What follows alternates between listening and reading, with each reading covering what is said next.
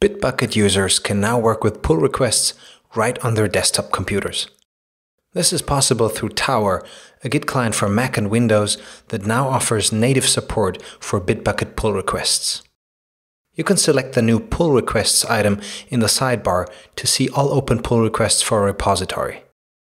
You can also create a new pull request right from within Tower. If you want to know more about a specific pull request, you just select it from the list. You'll get a great overview of what happened and can add comments, close or merge it. You can browse through its commits and even have a look at the change set in detail.